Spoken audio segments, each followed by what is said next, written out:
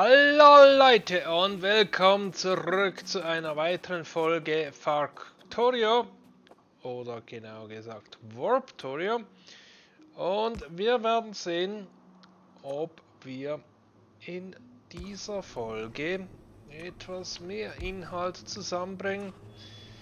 Die letzten beiden Folgen waren etwas kurz, denn ist nicht viel passiert außer äh, Forschung.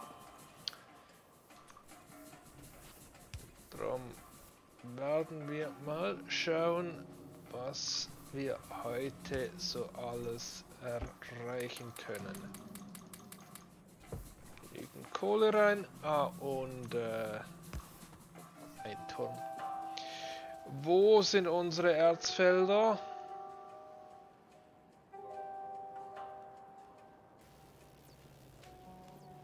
Da drüben.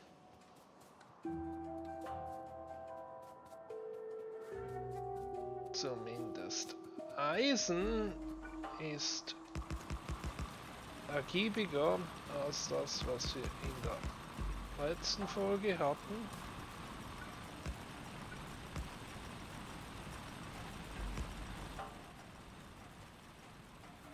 Wo ist Kohle und Kupfer?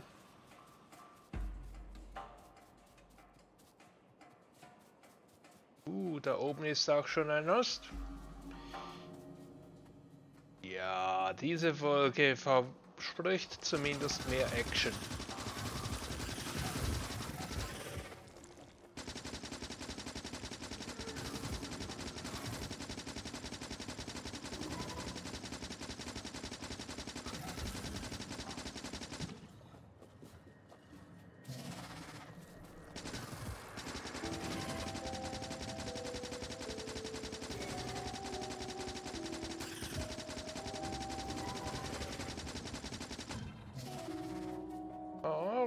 Ich weiß immer noch nicht, wo denn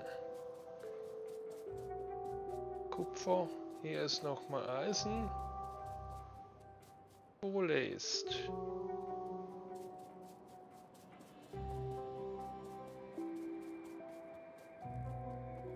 Ich denke, wir haben genügend auf der Seite, dass wir durchkommen, auch wenn wir auf diesem Planeten nichts finden. Da drüben ist etwas äh, Öl. Aber es wäre halt doch schön. Da sind Würmer. Wenn wir auch diese Ressourcen abbauen könnten.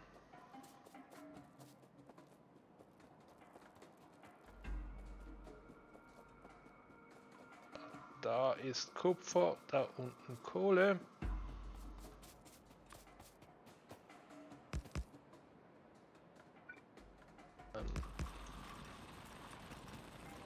Und ein Turm dazu. Ah, da ist auch Kohle. Nehmen wir doch die hier.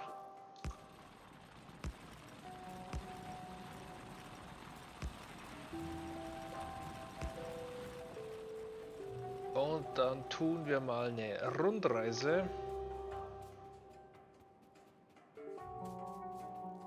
Um auszukundschaften, wo denn so die Alien-Nester sind. Die gleich präventiv platt machen.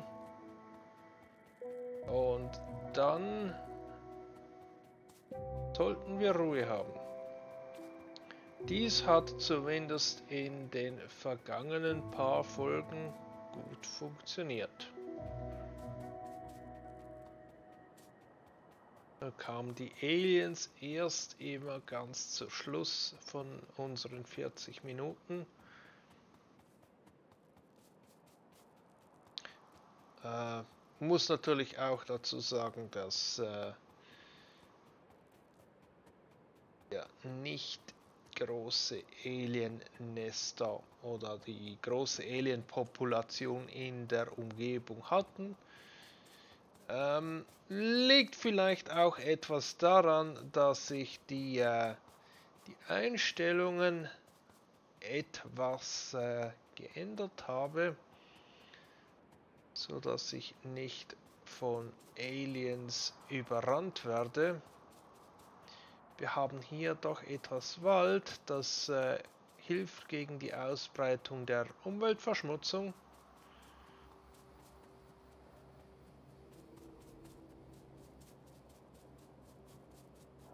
Und wir werden wahrscheinlich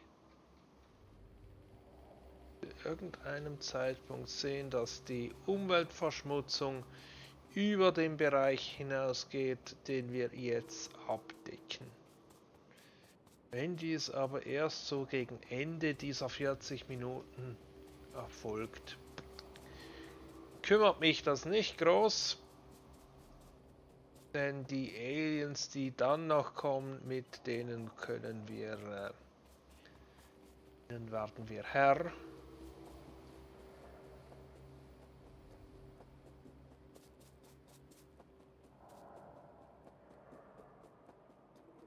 Hat einige schöne Erzfelder.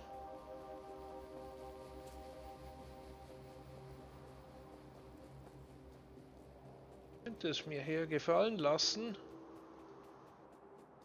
Hat am Anfang ja auch geheißen, fühlt sich wie zu Hause an.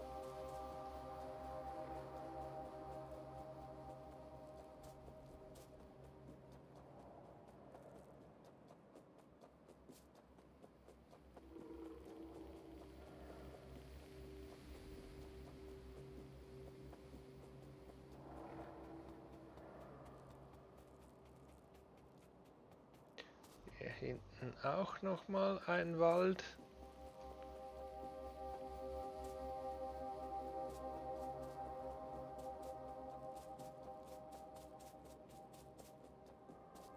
Zwischen ein See oder ein Meer.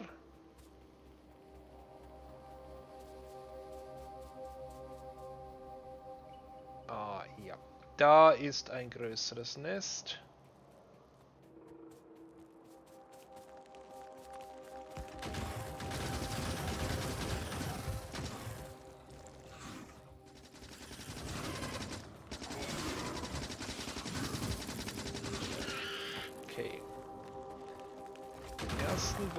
Den haben wir erledigt.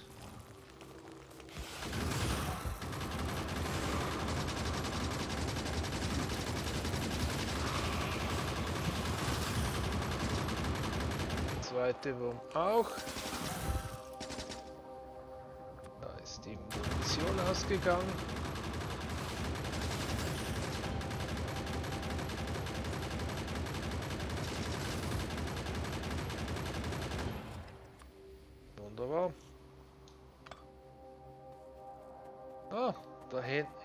Ist gleich nochmals eins. Äh, dieses ohne Würmer.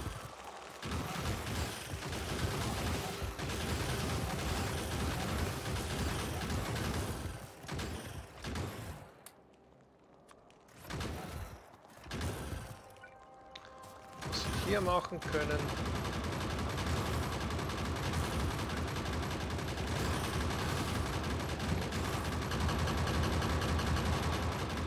Da geht die Post ab.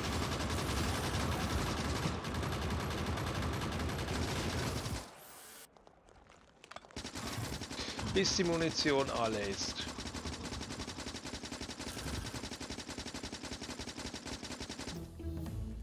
Okay, der erste Harvester Floor ist fertig. Den werden wir uns dann gleich mal anschauen, sobald wir zurück in der Base sind.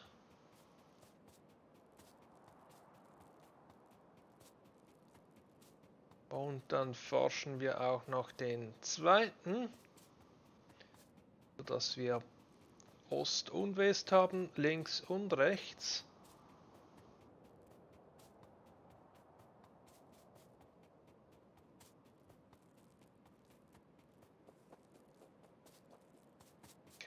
Eisen ist vollgelaufen.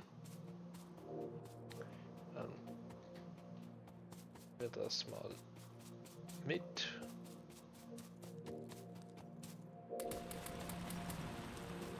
Wahrscheinlich ist auch Kohle voll. Und Kupfer.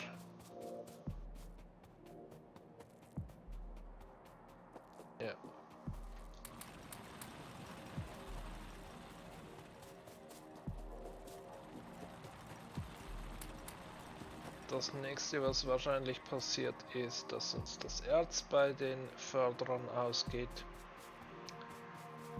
Nun denn, wollen wir mal hier auffüllen.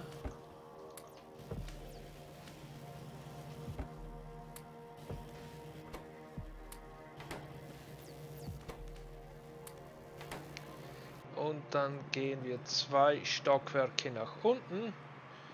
Dann haben wir hier einen langen Gang und hier einen Förderer, den können wir mitnehmen.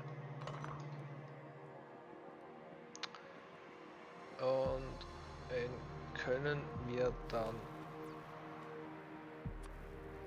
hier irgendwo platzieren. Und alles, was hier reingeht, kommt im Untergeschoss raus.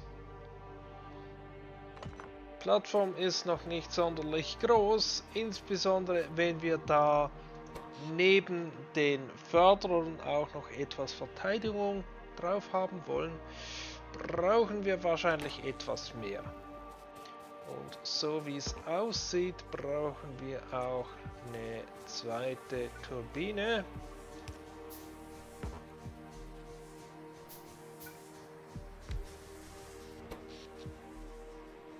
Damit wir genügend Strom produzieren für unseren Bedarf.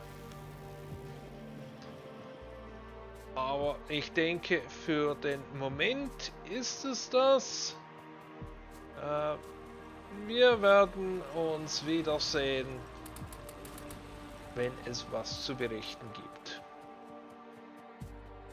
Es sieht so aus, als ob unsere Freunde uns hier besuchen kommen. Da muss irgendwo ein Nest in der Gegend sein.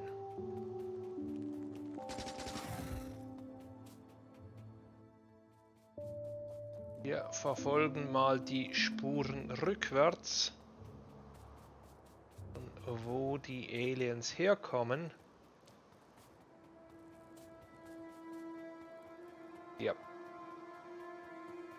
Da ist es auch schon.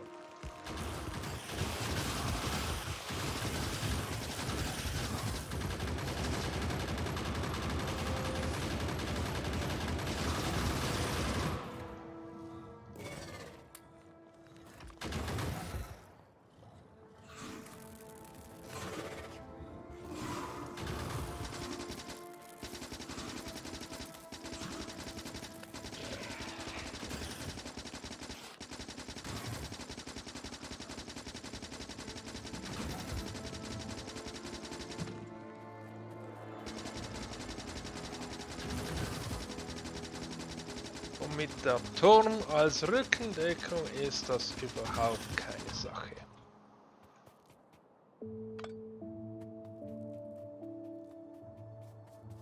Und damit haben wir auch die zweite Harvester-Plattform äh, geforscht. Ähm, das heißt, wir können uns äh, zur Abwechslung mal wieder etwas äh, Vanilla-Forschung gönnen äh, und etwas Eisen hier einlagern, was wir in ausreichender Menge haben. Und wir haben wieder Gäste, wieder auf dieser Seite. Ich habe das Gefühl, ja, sie kommen wieder von unten.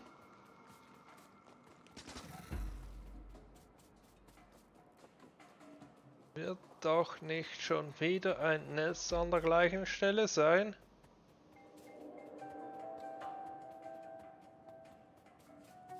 Ah, nein.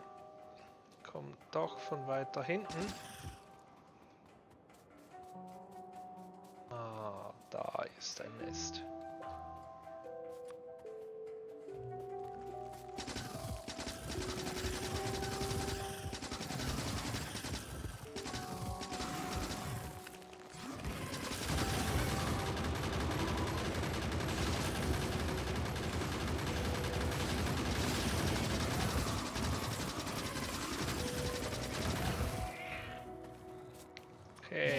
Reparieren wir hier mal. Legen etwas Munition nach. Und dann kümmern wir uns um die restlichen drei Nester selber. Haben einfach da die Rückendeckung von dem Turm.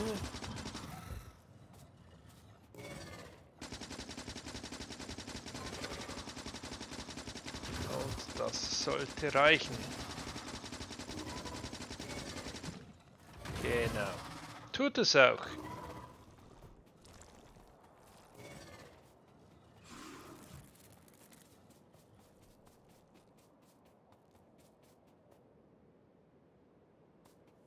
Da ist noch ein Nest mit ganz viel Würmern und gerade noch etwas außerhalb der Verschmutzung. Sind nur noch etwas mehr als siebeneinhalb Minuten drum. Äh, lasse ich das Nest mal in Ruhe. Ich denke, es ist der Aufwand nicht wert. Mit Militär 2 bekommen wir bessere Munition und Handgranaten und es eröffnet auch den Weg in die Militärforschung. Aber ich denke, wir bleiben hier äh, den Motor noch etwas, denn dann können wir uns ein Auto basteln mit einer zusätzlichen Forschung was uns die Fortbewegung erleichtert. Und da wir noch vier Minuten haben und die Schmelzen voll von Erz sind, baue ich mal die, äh, die Förderer ab, damit die Schmelzen noch ausschmelzen können, bis wir dann endgültig von hier verschwinden.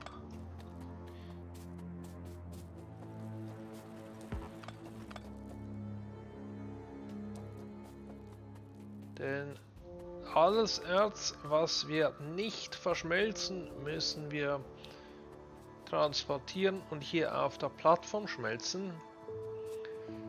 Und das muss ja nicht unbedingt sein. Und so wie es aussieht, kommen auch nun die ersten Aliens von hier oben.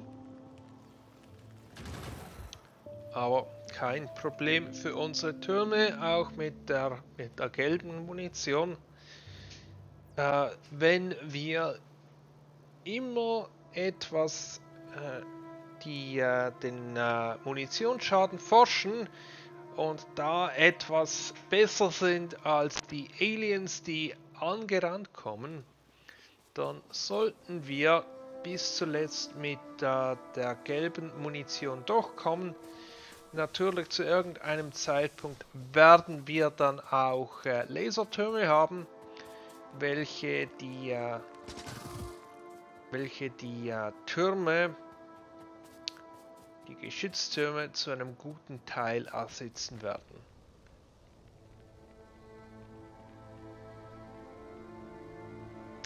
Ja, ich habe nicht das Gefühl, dass wir hier ganz durchkommen. Denn bis ich den Weg gefunden habe zu allen Erzfeldern, vergeht ein Weilchen. Und ich möchte ja doch vermeiden, dass ich zu guter Letzt noch hier auf diesem Planeten zurückbleibe, äh, nur weil ich es nicht geschafft habe, rechtzeitig zurück auf der Plattform zu sein und alles abgebaut zu haben. Aber wir können ja jetzt schon mal die Herze hier reingeben ist nicht allzu viel. Können die, äh, die Öfen bestücken. Können auch hier noch Eisen reingeben. Hier auch noch. Dann hier wieder auffüllen. Und hier Und hier habe ich schon mal die äh, besseren Fabriken platziert, äh, damit wir da etwas mehr äh, produzieren. Ähm und jetzt ist es, glaube ich, an der Zeit auch hier abzubrechen. Nicht, dass wir hier stehen bleiben, wo wir nicht sollen. Das war's für diese Episode und wir werden sehen, was der nächste Planet für uns bereithält. Bis dann und tschüss.